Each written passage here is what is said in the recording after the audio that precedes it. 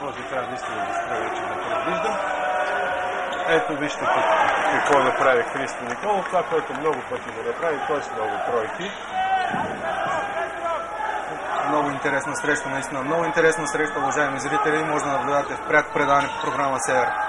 Кош за кош, точка за точка. Отново Николай Господинов дига публиката в залата на крака. И много силни 3-4 изигравания от негова страна. Последните минути.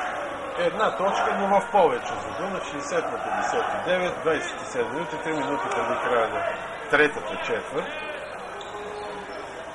А Христо Николов не се умори да, да постига толкова